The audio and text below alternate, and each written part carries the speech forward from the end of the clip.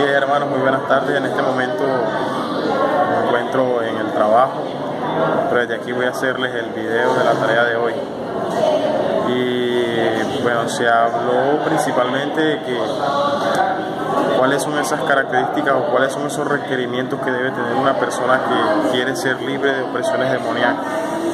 Cuando una persona está en el mundo, cuando una persona no ha aceptado a Jesucristo como su único Señor y Salvador, es una persona que tiene muchísimos demonios, pero esa persona tiene esos demonios con derechos legales ahí. ¿Por qué? Porque está en el mundo. Y nosotros para, para ser libres, para calificar para ser libres, principalmente tenemos que haber aceptado a Jesucristo como nuestro único gran Dios, Señor y Salvador de nuestras vidas. Ese es el primer paso, es lo más importante. Que nuestro nombre esté escrito en el libro de la vida, que es la salvación, es lo primordial. Y de ahí por añadidura viene lo otro. El siguiente paso es renunciar